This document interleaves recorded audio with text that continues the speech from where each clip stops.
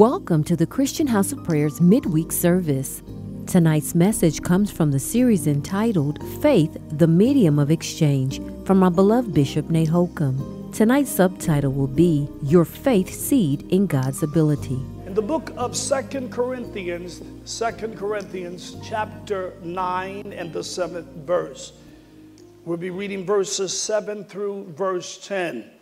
Every man, that's including women, according as he purpose in his heart, say purpose in his heart, in his heart. so let him give not grudgingly or of a necessity, for God loveth a cheerful giver.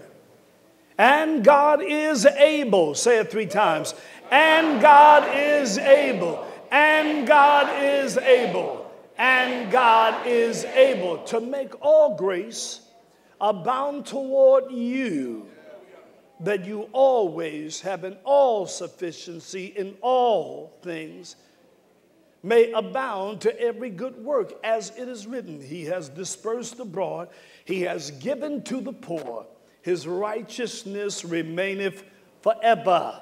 Now, he that ministereth seed to the sower, both minister bread for your food and multiply your seed sown and increase the fruits of your righteousness. May the Lord add a blessing to the readers and hearers and doers of his word. And all God's people said, Amen, amen. and amen. amen. Come on, three people, give them a high five and tell them, I'm in. Come on, tell them, I'm in. I'm in. I'm in. Praise the Lord, I'm in. And we welcome those of you that's viewing It's All About Him telecast locally, nationally, and internationally. What a joy it is for us to be able to share the gospel of God's Son with those of you that's viewing in. Thank you for um, tuning in to It's All About Him. Today we are giving the third installment um, on the teaching that we've been teaching for the last couple of weeks entitled um, Faith the medium of exchange. Faith, the medium of exchange. And today, I want to culminate that teaching by talking to you about your faith seed in God's ability. Can you say that? In God's ability. Now make it personal. My. My faith seed in God's ability. Faith is the medium of exchange in the kingdom of God. Faith is the medium of exchange, like money is the medium of exchange in our economy. And the word in, uh, economy in the Greek is oikos nomos. Oikos' house, nomos is law. Um, even though we are citizens of the United States of America, and thank God for that, put your hands together for that if you are.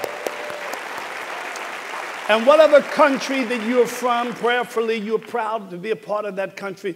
But we are also, according to the Bible, we are called pilgrims making progress on this planet because we are citizens of God's kingdom. We are heavenly citizens, according to the book of uh, Philippians and the book of Colossians. It talks about we have a dual citizenship.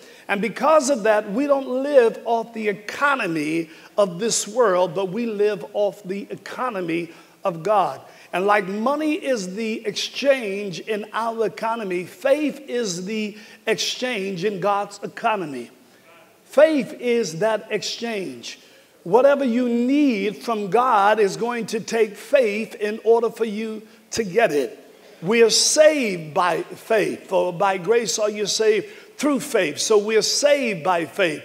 And then it says, the just shall live by faith. And so we live by faith. And then it tells us we are to fight the good fight of faith. So we fight by faith. And he says, This is the victory that overcometh whatever comes against you in the world, even our faith. You gain victory by faith. Somebody give God a praise for that. Hallelujah. This is the faith so, faith, it is the medium of exchange in the kingdom of God. Faith can get you saved, faith can get you healed, faith will get you delivered. Hello. Faith will cause God to listen. There's a keeping faith unto him that's able to keep you. Hello. Hello. And so uh, faith is the medium of exchange. Uh, and then faith can get you money. See, there's some things that money can't even get you in this world. Hello. There's some things that money cannot buy. But faith can get you even some money. How many of you say, I'm grateful to God for that? Hallelujah. Hallelujah. And so faith is that medium of exchange. Now, from Second Corinthians chapter 8 and then now chapter 9, uh, we began this year talking about um, the uh, motto or what we call the mantra of this year. And the mantra is a saying, it's a catch all word, it's a phrase that a group of people would use to identify something in that group. And we are that group that is Covenant Connection International. I happen to be the bishop of um, over 400 churches and ministries. And so that's, well, go ahead and give God praise even for that. But here is my point that's our mantra coming from the book of Acts, chapter 17, verse 28, where it says, For in him, that is in Jesus Christ, See, the children of Israel, when we read the Old Testament, their concept was a promised land. I've been saying this ours is a promised man. All the promises of God is in this man, Christ Jesus. And so, we, the world, and the children of God, we have absolutely no promise outside of Him. So, Acts chapter 17 and 28 verse it says, For in him we live and move and have our being. It's in him. And the thought and the theme is get into what you're into. There's a lot of people that's into Jesus in the sense that they have accepted him, they're saved by faith, but they don't live by faith. They don't use faith as that medium of exchange. And so if we're in him, then get into what you're into. Hello.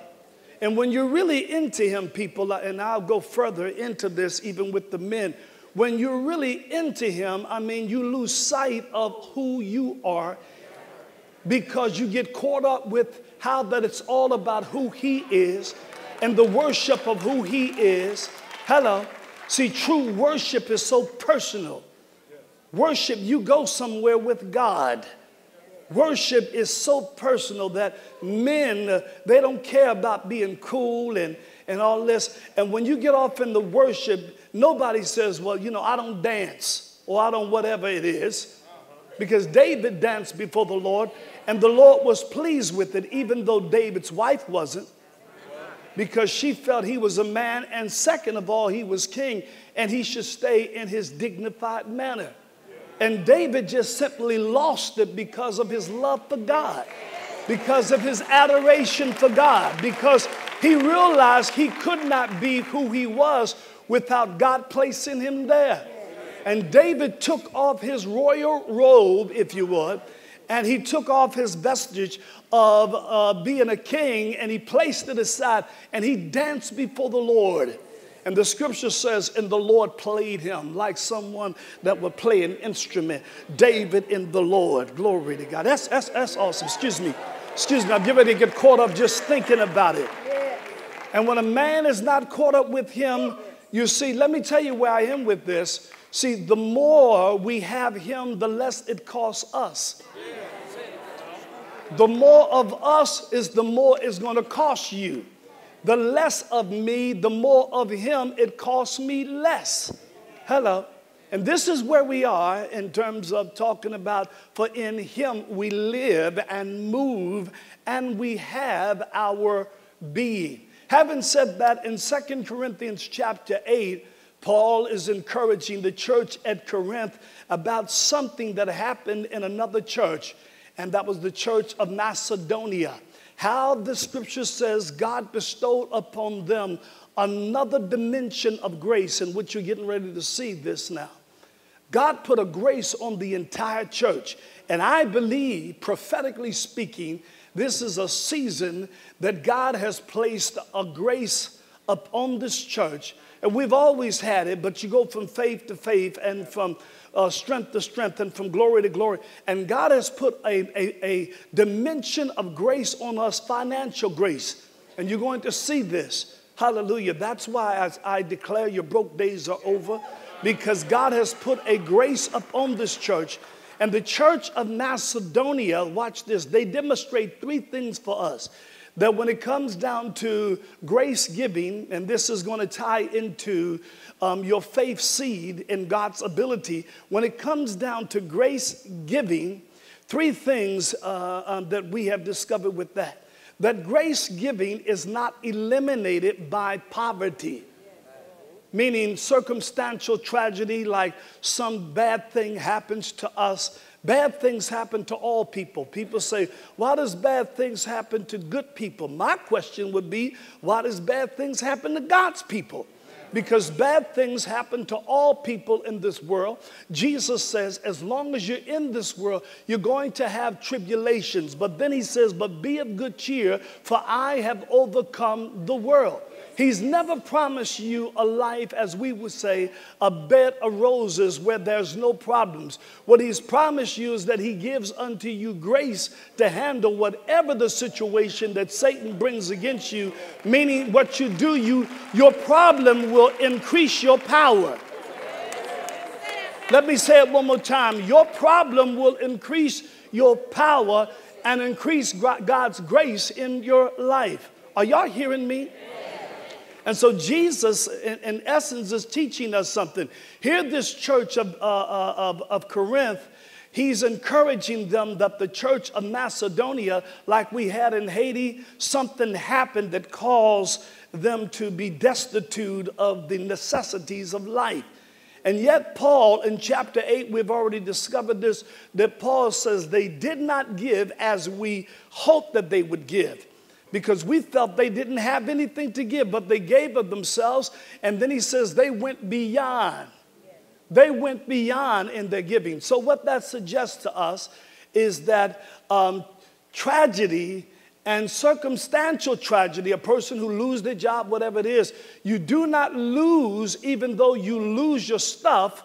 Hebrews chapter 10 talks about that. You can lose your stuff, but you never lose your standard.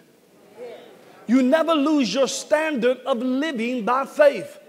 Even though they lost their stuff, Hebrews chapter 10, he says they took joyfully the spoiling of their goods. They lost their stuff, but Hebrews chapter 11, verse 1, they did not lose their faith. Now, faith is the substance. And he says, even though you lost your stuff, uh, do not allow that to cause you to cast away your faith and your confidence. So, what am I saying? I'm simply saying that God has instituted this is how the poor will break the cycle of their poverty, and this is how the poor becomes poor no more. Why? Because he says, now notice we just read it, he says that he gives seed to the sower, and he says that he has given to the poor. So, see, he gives the poor a seed, but oftentimes the poor because of what we need in terms of the poor. We need, so the poor thinks the seed is to meet their need. But he goes so far as to say, No, I give you a seed, and he says, I give to the poor. And I give you bread for your food, meaning I'm gonna take care of your need. Don't eat your seed, because that's how you break the cycle of poverty off of your life. Hello. Now just stay with me for a moment. Stay with me with this teaching for a moment because I want you to see the profundity of this and how powerful this is. And if you opened up in this area, you'll see that it opens you up in every other area of your life. Meaning, when I speak about this area specifically, and this church, you have already, listen, I'm not preaching to you to get something. You've already sown, you've already given, and so forth and so on. This is a part of what's called the counsel of God. See, Paul says that I would not shun to declare unto you the whole counsel of God. Meaning, not just getting to heaven, but how God want to meet your need wherever you are. God want your children to go to college. God want you, listen, and the young people, don't simply look for your parents to, to always do it because God is showing himself and God want to show you that he, if you are a child of God, God is no respecter person. It doesn't matter how old you are.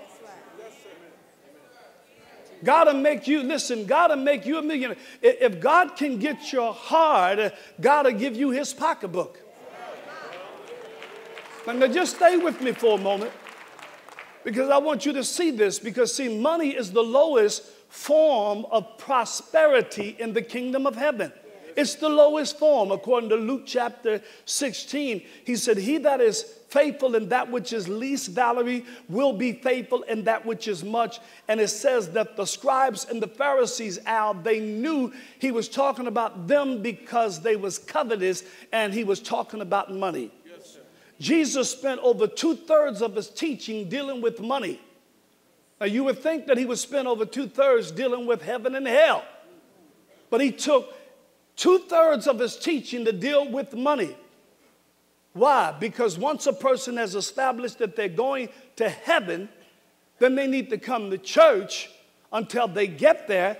And the church should not be void of teaching them how that God wants them to live every day of their lives. And that's the counsel of God. Are y'all hearing me? So, money is the lowest form of prosperity. What's the highest form? The highest form is a soul.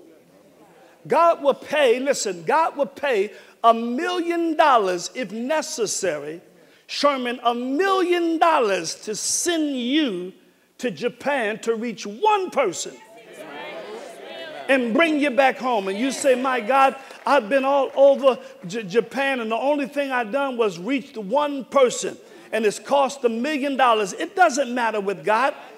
God gave his only begotten Son so that we could be saved. Souls is the highest premium. God places the highest premium on people's soul.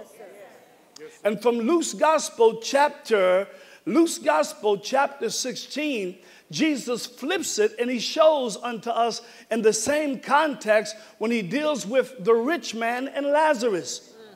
Hello.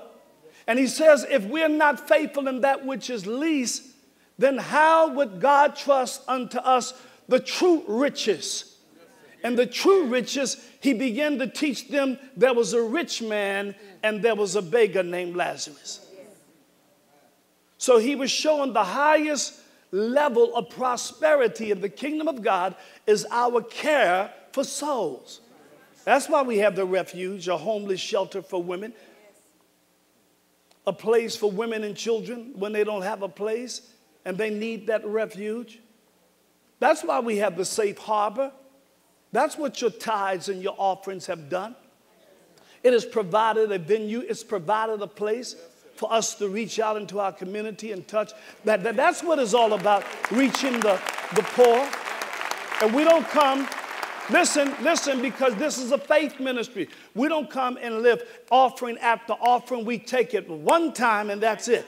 Either you got it or you don't. Either when I say you got it, either you got the faith to release what God has given unto you, or you don't. We don't pump, push, and pull, beg, steal, and borrow. It's not about that. Hello.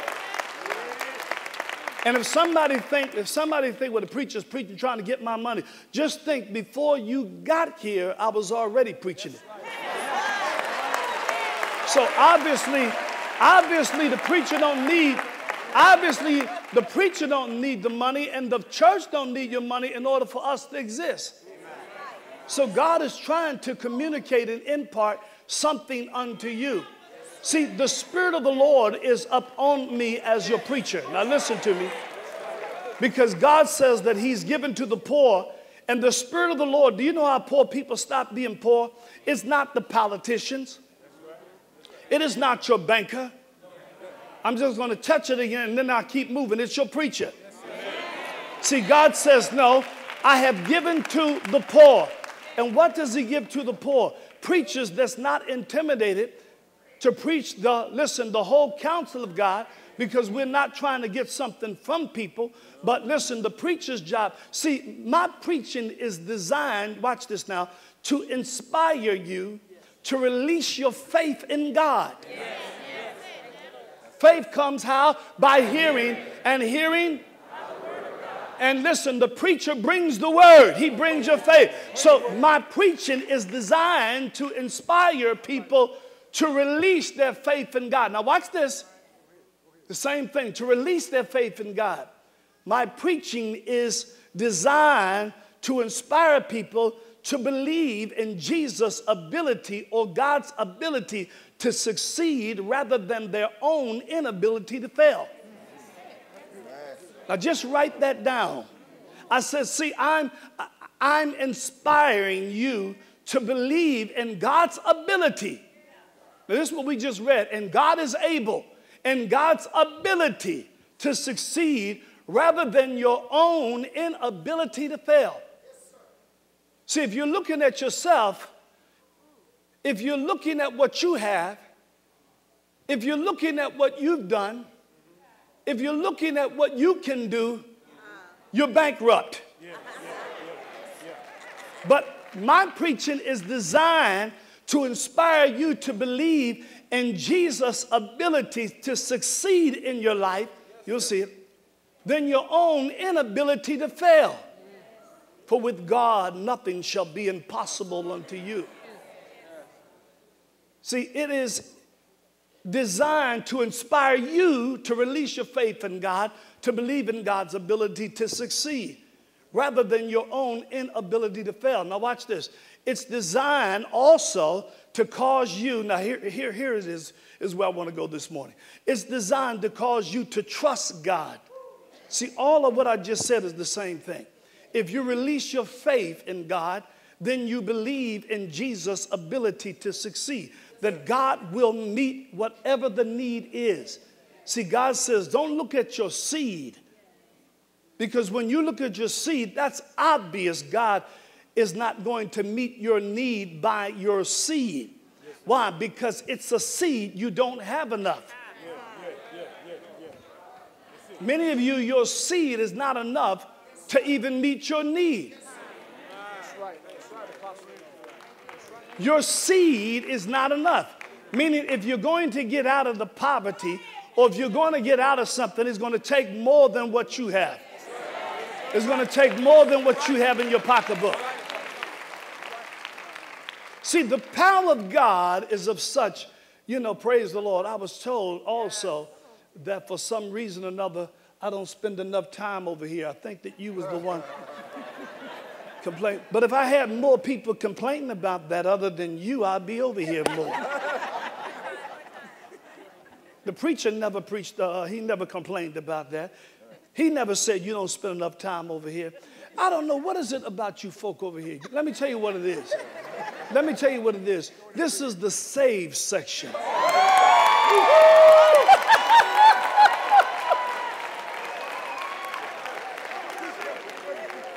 It's those deacons, Battelle, over there that I got to work. It's the deacons I got to work with. Now, now, now, here's the point. When, when I say that it's designed to cause you to release your faith in God, now watch this, in God's ability to succeed, I'm talking about, now watch this, people. See, the preacher is to get you to trust God. Out of everything that I say, at the end of it all, I hope that I have provoked you to step out and trust God. Not try God. See, you have heard preachers say, just try Jesus, and folk have tried him. And come back and say, I tried him, it, it didn't work. Jesus ain't it. But the reason why he's not it is because you can't try God. There's nowhere in the scriptures where it suggests you are to try God. See, the try God is one feet on and one feet off. See, the try God, just think, to try God, you're trying, God says, I'm not going to participate in that game. I'm not going to let you try me and I come through for you. No, because the scripture says you trust in the Lord. Now, our text this morning, because I want to get into this seed faith releases your ability. My preaching is to inspire you to do this. The text says, let's look at it again. Verse 7 Lift up your voice and declare it. See, according as he purposed in his heart. To purpose in your heart is to trust God. That's another phrase or term for trusting in God. If a person purpose in their heart, they trust God. It's purpose in your heart. Let every man as he what? Purpose in his heart. Now watch this. If you trust God, then you come to know God. You cannot know God if you do not trust God. If you don't trust Him, you cannot know Him. So you have to trust the same way you trust the seat to hold you. You came in here, and most of you, you trusted the fact that this church is not loony toony, and therefore you said, well, uh, you know, prayerfully that their chairs work, and you just plop right down. You didn't try it.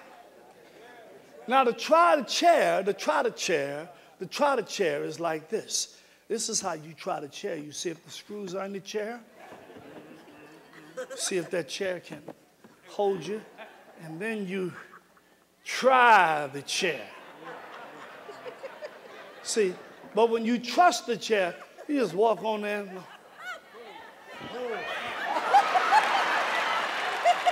I mean, you put your whole weight on it. Hello. You put your whole weight on it. And what God is saying is put, see, I tell you what, we put our weight on our money. And in the American currency, on our dollar bills, whether it's a $1, $5, $10, $20, whether it's a $50, $100, whether it is a $1,000. Hello? Yes. On the back of it, it says the United States of America. In God, in God, we ought to put our weight on it. Are you hearing me? In God, you put your weight. So it's in this when he says, every man as he purpose in his heart, as he purpose in his heart, as trust God. So when you trust God, you come to know God. The preacher's job is just to get you to trust God. So when you trust God and you say, God didn't fail me. See, trust is the same, it's synonymous with the word F A I T H. And what does that spell? Faith. And faith is forward action in trusting Him. See, it's forward action in trusting God. So if you trust Him, now you come to know Him. And when you know Him, then you come to love Him. So we're trying to get people to, watch this now, we're trying to get people to know a God they do not trust. And we're trying to get people to love a God they do not know.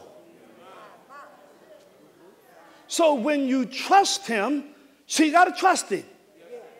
You got to trust Him. And since money is the lowest form of prosperity, God says, if you can't trust me with the money, you won't trust me in no other area. If you don't trust that I can meet your need in the money, so you have to trust God, and God we trust, our money says that. Then you come to know God. When you know God, God haven't failed me yet. I'm going on 30 years in the ministry. And in every area, it's like a kaleidoscope. Whichever way we turn, we learn.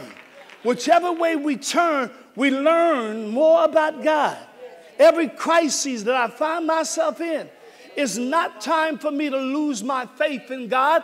It's time for me to learn more about the God I place my faith in.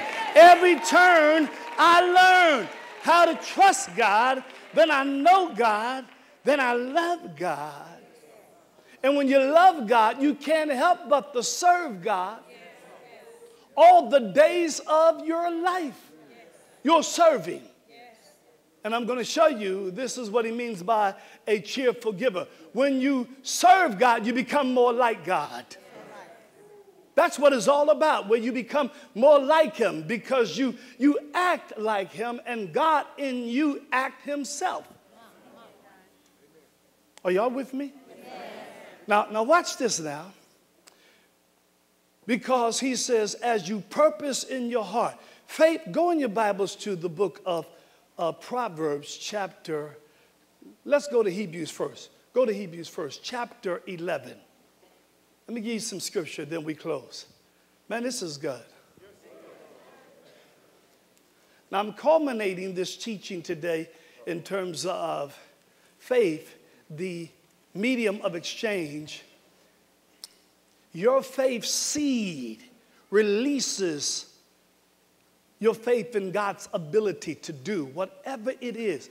See, once you're opened, uh, listen, once you're opened up in faith, that faith seed. Are you in Hebrews chapter 11? Can I hear you say yes? Yes. All right. Hebrews chapter 11, verse 1. What does it say? Now faith is the substance of things hoped for, the evidence of things not seen. Now, here's the point I want you to look at real strong. We know this verse by heart, but I wanted us to go over faith come by hearing. Now faith is the substance of what things hoped for, the evidence of things not seen. Go to Proverbs chapter 3. Proverbs chapter 3. Proverbs chapter 3. Once you found your place there, say, Amen. Proverbs chapter 3. Remember what I said? I said that you can count the, uh, um, the seeds in the apple. You cut open an apple, you can count the seeds in the apple, but you cannot count the apple in one seed valley. That's powerful. And then I also said the reason why the garden has seeds, or weeds rather, the reason why the garden has weeds, think with me for a moment. This is a thinking message.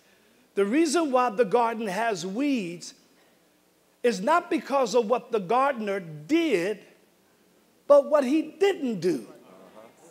When the gardener did not sow seed, weeds are the results of sowing nothing. And some people, Jesus placed Adam and Eve and placed Adam in the garden and told him to dress it and keep it and the question becomes with some people, how is your garden? You p- preached that the first year of our ministry. Your first message, how is your garden? See, in some people's gardens, there's nothing but weeds. Weeds in your life. Just weeds in your life. Weeds in your life. And the question becomes, why the weeds? Because the gardener didn't plant nothing. You don't have to plant weeds in order for weeds to sprout up. What you have to do is plant nothing. Just don't give nothing, and you'll have weeds in your life. Now, watch this now. Are you in Proverbs chapter 3, verse 9? Are you there? Read it for me.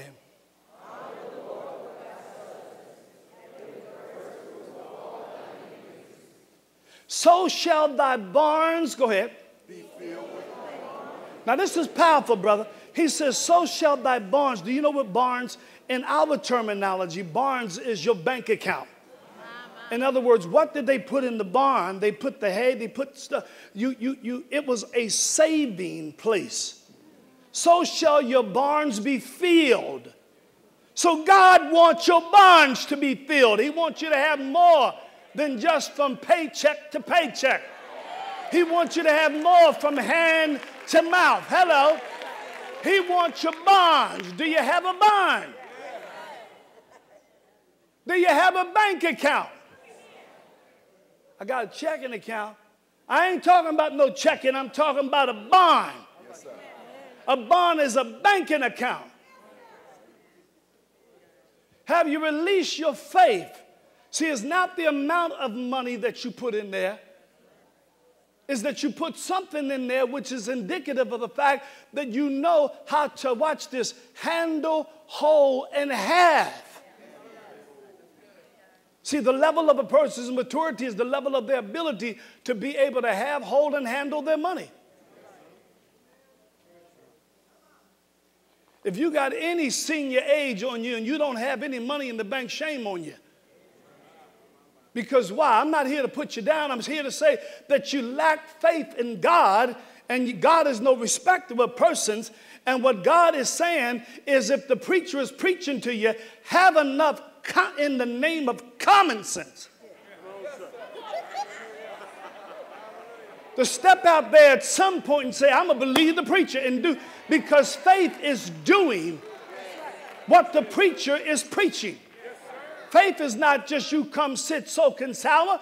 Pray, listen, faith is you doing something. And Jesus oftentimes asks us to do something real simple and something that we can do.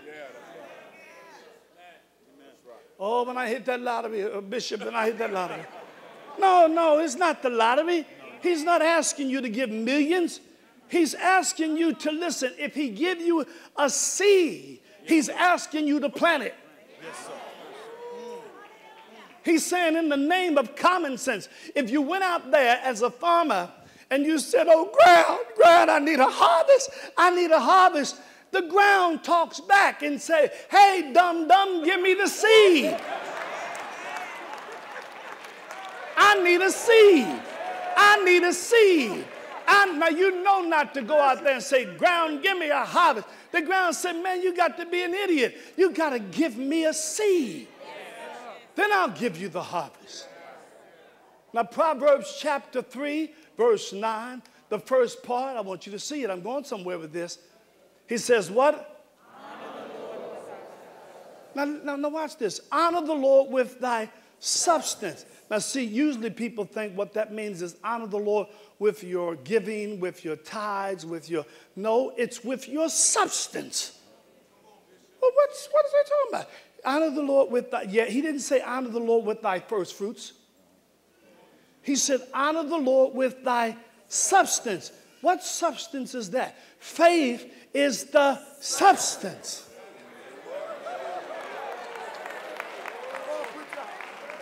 Faith is the substance. See, you don't honor the Lord with your money, you honor the Lord with your faith, with your substance, with the releasing of your faith. That's how you honor the Lord, that's how you please Him. See, my challenge to you is not about your money. That's the lowest form of prosperity. It's about your substance. What substance is that? Faith is the substance that changes your world. That changes your world. That breaks the cycle of poverty. But we want to harvest, and the ground is saying, and I want a seed. Because the seed releases your faith in God's ability. Now go back to um, 2 Corinthians chapter 9. Man, this is glorious. I want you to see this now. 2 Corinthians chapter 9. Then we close. Glory to God. See, faith is released into your heart. There's an impartation from your preacher. Remember that. A revelation from the Father, illumination from the Spirit that there'll be a transformation in you that brings about a manifestation of Him. Now, Second Corinthians chapter 9, are you there? Now it says, Let every man, let's look at it again one more time, please help me. Let every man do what? According as he purposed in his heart. See, purpose in his heart is to trust God he says, Trust the Lord with all of your heart, lean not to your own understanding. So, purpose in your heart is to trust with your heart. Trust you come to know, come to know, you come to love, come to love, you come to serve, and serve you come to be like Him. All right? He says, Purpose in your heart. Go ahead, please. So let him give as he purposed in his heart. So let him give. I want you to see one more thing because somebody's looking at me strange over here. I ain't gonna point you out. But see, he said, purpose in your heart. I just keep keep yourself right there. Let me just tell you where it is. It's 1 Corinthians chapter 16. He says, Let every man lay by him in store as God has prospered him. So on the first day of the week, what's the first day? Sunday. Sunday. The first day of the week, he says, when you are gathered together, because you have already purposed. See, people come to church and they give incidentally, accidentally, coincidentally. They just give whatever's in their pocket. How much I got? Okay, the, the, you know, it's offering time based upon what they have in their pocket. That means they did not purpose in their heart. See, before you come, you lay aside what you're going to give. That's holy as unto God. That money's as, as unto God. And all that time, you're releasing your faith. You're releasing your faith. So you, he says, lay, us, lay it aside. Yes, sir. Now, I'm almost 30 years in the ministry, and all 30 years I haven't been pastoring. Well, I say 30 years, well, all 30 years, I, uh, 29 years I've been pastoring. But four years prior to me pastoring, I was a member of a church, and I had to lay it aside. And see, Jesus said, Nate, if you can't be faithful with that which is least, then you won't be faithful with the much, meaning with the greater riches of the kingdom.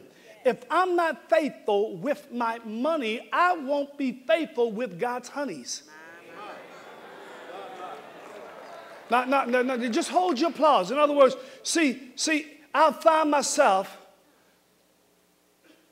I'm 30 years now in the ministry. I'm not patting myself on the back with that, but I would have found myself at some time in those 30 years because if I'm not faithful with the money, I won't be faithful with the honeys. I won't see them as daughters. See, I see even I see even women senior to me as daughters to me. I don't look at a woman and look at her with lust. I look at a woman like I look at a man with pity in my heart. They're not, oh, look at how beautiful. Oh, look at how beautiful these sisters are. Yes, they're beautiful. But I look at them and say, oh, how they need Jesus. Oh, how they need Jesus. And oh, how they need, how they need to believe that God can have men that's not simply out for honey. I got the sweetest honey, sweeter than a candy bar.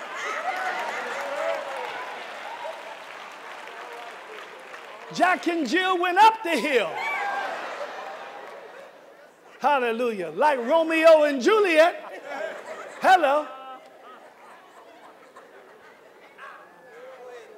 But see, my po- do y'all understand my point?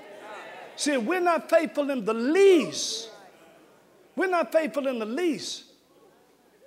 And miss, if a man has a problem, usually women don't have this problem. If a man has a problem in his pocketbook with God, what do you think he's going to buy you?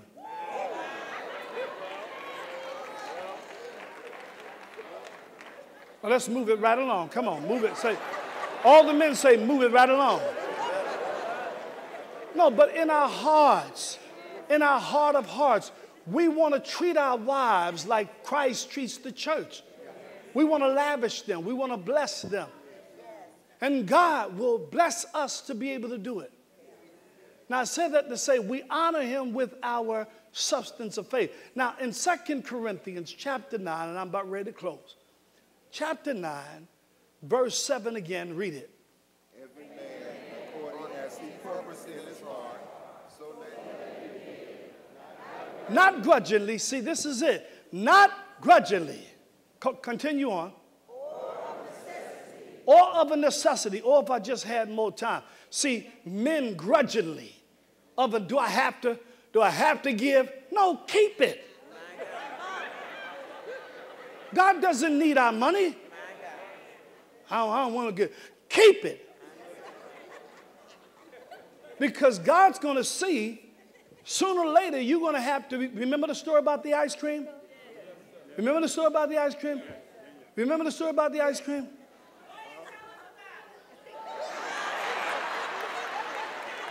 Whoever that honey is, glory to God. That's a real honey there. All right. I haven't seen her yet, but I know she's a honey. Here, the man took his, his son to the ice cream parlor and he told him on a Wednesday night, he said, Son, you can have a, a scoop of ice cream. He said, Dad, can I have two scoops? He said, No, I told you you can only have one scoop because tomorrow you got to go to school. So he says, All right. He said, But you can choose the flavor. He said, I choose the flavor. Now, I choose the flavor. Vanilla, that's my flavor. I'm not sure what his was, but he said, Vanilla. And so he chose the vanilla flavor. And he says, All right. And then as he went to lick it, he, he, uh, uh um, the father said, Son, now give me a lick, give me a lick. And it was like Sister Pam. The first, you know, when Pam is Valerie's sister, y'all know that. And I remember the first time I ever seen uh, Pam uh, uh, feed her children, put the food before us all. And uh, um, before they went to eat, Pam had them to bow their head and they were saying their grace and that, you know, thank you, Father. And so it was just as precious as they can be. And then right after that, they went to eat their food and Tyrone Pam walking around, give me a bite, give me a bite. and I'm looking at her and they had to give her some. And she licked it Give me a bite, give me a bite. And I'm thinking that woman ought to have had a bet I'll knock upside her head. That woman. Why don't she let us eat? Why don't she let us eat? I thought I had to give her a bite too. Go ahead and take a bite. But she was teaching them a, a lesson that my mama taught me that you don't bite the hand that feeds you. And when that preacher asked his kid for a lick of that ice cream, that kid said, No, and he laughed at his father. He smiled at him, no. And then he went to bring his ice cream back, and all he had was a cone. And he looked down there and saw that ice cream. He looked at that cone and he said to his dad, Can I have another ice cream? And Malachi chapter 3 deals with bring ye all the tithe into the storehouse. Right after that, Malachi chapter 3 said that God has a book of remembrance written. And art, why would he need a book of remembrance? He remember everything, he knows everything, but God knows some of us place selective remembrance on God. God knows some of us make like we didn't forgot what we said to God. When God asks us for a bite, when God asks us for just a little bite, here we driving what we're driving, living where we're living, wearing what we're wearing. And God asks for a little bite. And some of us said, no. And God said, keep it, keep it, keep it. Because why? Sooner or later, I don't care how much you got. I don't care what you got. Sooner or later, you got to come back to God and you got to ask God again can I have another ice cream? And God's going to open up that book of remembrance and say, I remember when you said no. Some of us been saying no to God. No, no. God says, I right, keep it. Because you're going to need another ice cream. Sooner or later, you got to come back around and ask me again for something that you need in your life. Now, here's what he says. Here's what he says. Read this for me because I got to close. Read this for me. Read it for me. Verse 7 again, please. Read it for me.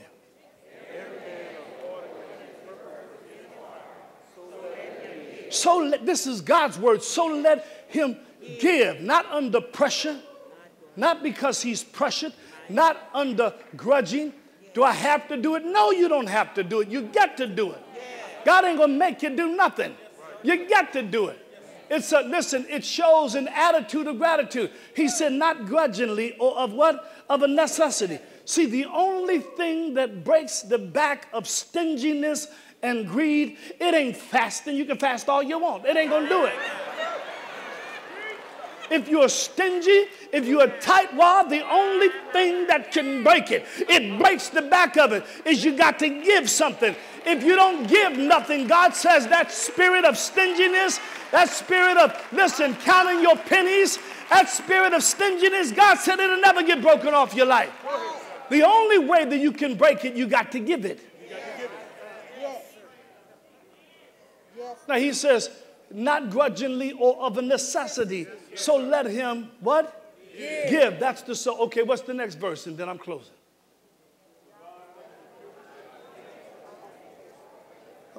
I can't hear you. What is it?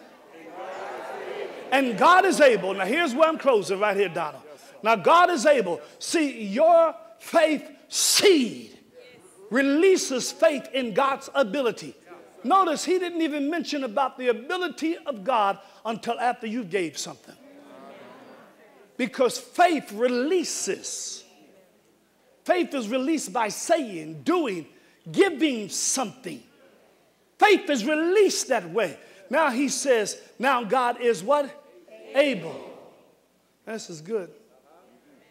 And just before he said God is able, he, he, listen, he culminates that verse. Just before that, he says, What? God loveth. See, God loveth a cheerful giver. I'm closing. But here it is God loveth a cheerful giver, Valerie. See, what makes a giver cheerful is, they, is that they have, David, gratitude they are grateful and they are thankful. See, a cheerful giver is one who's grateful, not grudgingly, not of a necessity. I got to give this, and you got God's money in your pocket when you go to the movies. God said, That's all right. That's all right. You go and spend, what is it? you know, every other week, if not every week, I'm going to the movie. Then I got to go to Blockbusters in Hollywood. I got a card with Blockbusters. I got a card with Hollywood.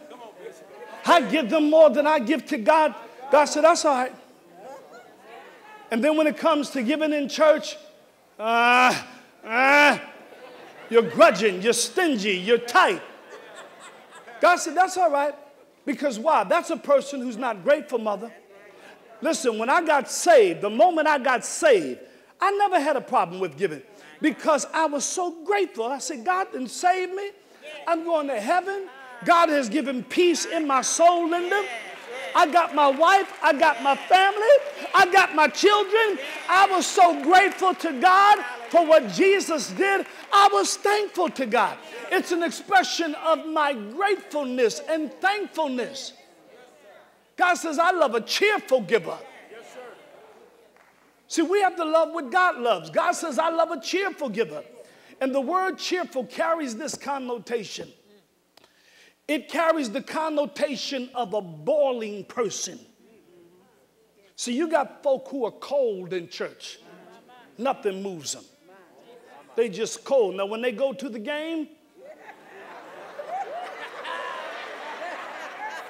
or whatever, when they come to church, they're cool, you know. They walk cool, they sit cool, they look cool, they just cool, man. They cold as ice in church. I'm getting ready to close. Just cool, Val. Cool, cool, cool Christian.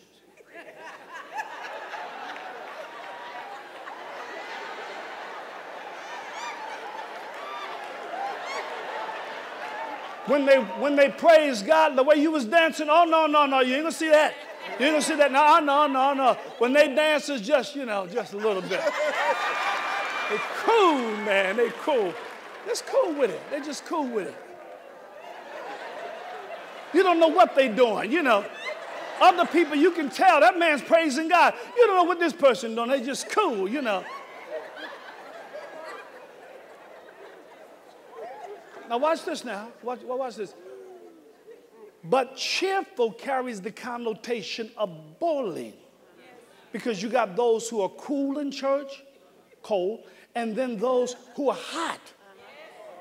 But when they're really hot to trot, God says they're cheerful. And 211 is what I understand, degrees is called hot water. One degree more is boiling. And some people, God says, that person is boiling for me. That person is on fire for me. That person is excited for me. That person's excited about giving unto me. Now, he said, God loves that. God loves a cheerful giver. The same way you love a person when they play the game, when they put all their heart in it, when they play, and you see them sweating it out and they putting everything that you say, now that's my man. That's the one that I, I love him. I love him. Why? You love how he plays the game. God says, I love him. I love him right there because they're bowling for God. And then he says, Now God is able to make, watch this now, I close. God's able. When it says God's able, that's the might of it. Just, just write this down. It'll preach later. Maybe we'll come back and deal with it. But, but, but write it down. God's able. Everybody say God's able. God's able. And just put this down. It, it'll preach later. God's able. That's the might of it. He says, Be strong in the Lord. Remember that? And in the power of his might. See, that's what he's talking about. God's able. That's the might of it. That's the ability of God. God's able, the might of it. To make what? All grace. The word grace there is power and equipment for ministry. God's able to make all the power that you need to be not only able but available, not only available but active. You can have a person who's able to play basketball and they can be there, but they can be on the sideline. So even though they have able power, it's um, available power because they're there, but when they're in the game, it's active. So God's able, that's the might of it, to make all grace. Grace is the manner of it. How is God going to meet your needs? Say it's by grace. And listen, faith receives what grace gives. Everything you need, whether it's your healing, glory to God, you're releasing faith in God's grace. Right. It's the grace of God. You don't earn anything from God, it's God's grace. God is able, that's the might of it. Come on, somebody, to make all grace. Grace is the what? Manner of it abound toward you. That's the movement and the motion of it. It's in your direction. See, before you leave here, God is able to make all grace abound. Whatever you need, God says you don't have to go after it. It's like metal to a magnet. See, faith, uh, hallelujah, takes you somewhere. And faith brings something to you. Oh, glory to God. See, God is able, Mary, to make all grace, God says, abound toward you. It's headed in your direction.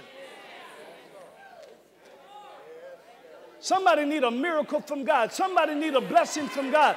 You don't have to go looking for it. It's looking for you. God says, sic him. God says, sic him. That miracle is looking for you. That, that miracle is sniffing you out. That miracle know you are somewhere in the neighborhood.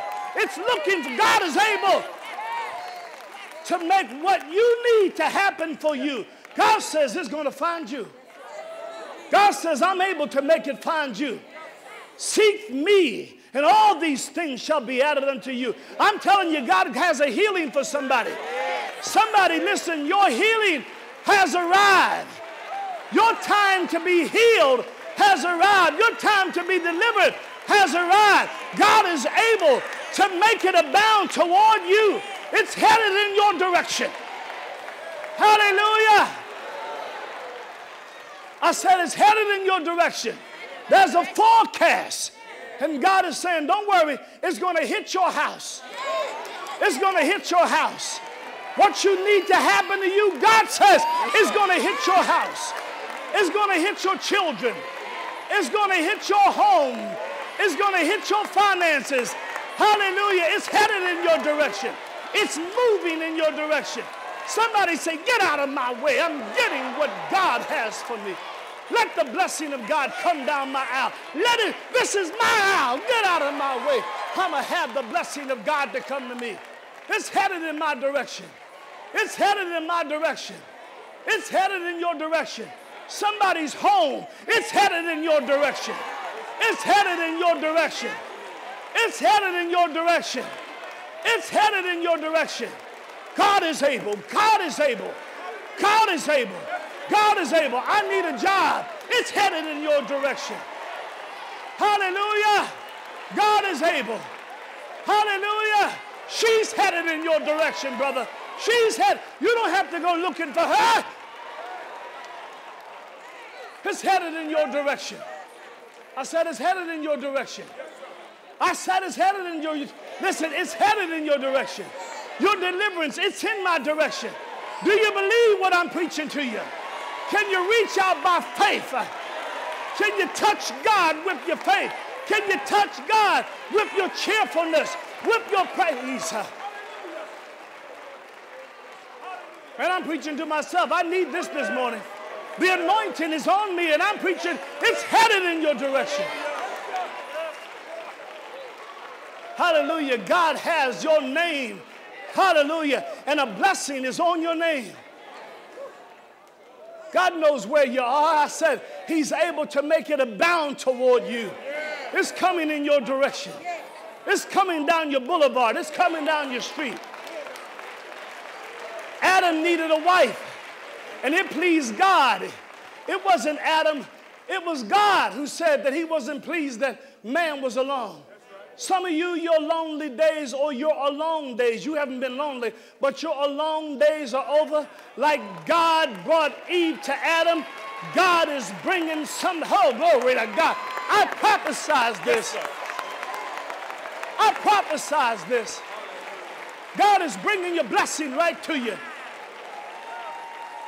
I be a man of God and I prophesize to you. God is bringing your blessing right to you. God is able to make, to make, to make, to make all grace abound toward you, Jesse. I'm closing with this. Abound toward you. God said, I'm able to make it happen.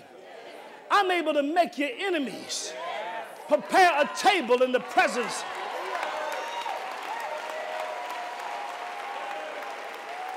Everything's got to obey God. Listen, friend, I'm preaching I'm preaching your deliverance right now. Everything's got to obey God. The sea got to obey God.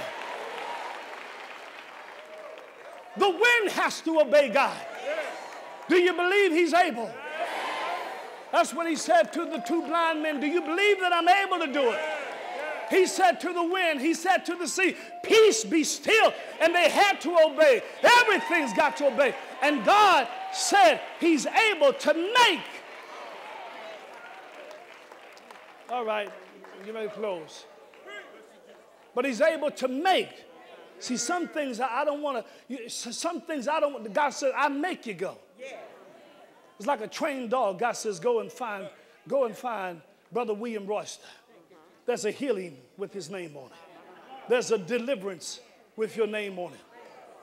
God says, I'll make it. I'll make it. I'll make it all work together. God is able to make all grace. If He's able, that's the might of it. He's a, we serve a mighty God.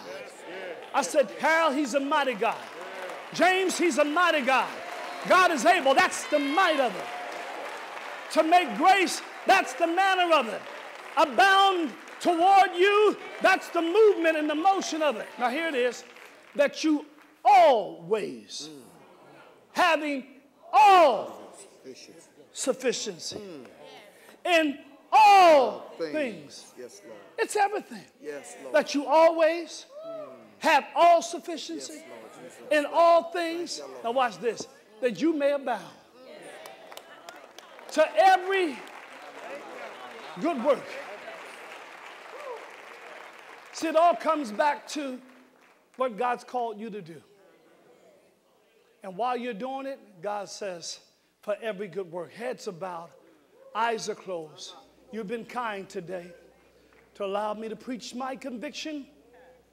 And I pray that as it is designed to inspire you to release your faith in God and to believe in Jesus' ability to succeed rather than your own inability to fail.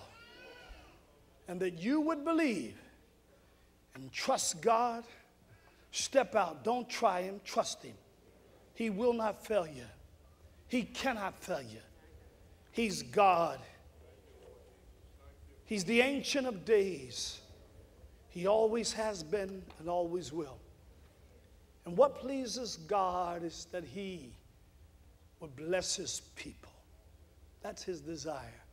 While heads are bowed and eyes are closed, heads are bowed and eyes are closed, no one looking, no one leaving. Let's take a moment now before we leave and just spend a, a moment, a moment in His presence, the presence of God. The Bible says that the power of God was present to heal because they had a reverence for his presence. The greatest thing in all my life is loving you, Jesus. Take a moment with me and just worship Him with that. That the greatest thing in all of our life is loving Him, is knowing Him and serving Him, is knowing you, Jesus. And because we trust you today, we come to know you. We come to know you as a God that will never leave us nor forsake us, as a God that bless us, even, dear God, when we haven't done as we should. Yet and still, you're still there. You're still blessing, and we're grateful and thankful. We honor you today. Thank you, Jesus. You're worthy of our Please join me as we confess verses 13 through 15 of the 92nd Psalm. Those that be planted in the house of the Lord shall flourish in the courts of our God. They shall still bring forth fruit in old age. They shall be fat and flourishing, to show that the Lord is upright. He is my rock, and there is no unrighteousness in him. If you're in need of prayer, salvation, rededication, or church membership, counselors are standing by to take your call at 254 777 6292.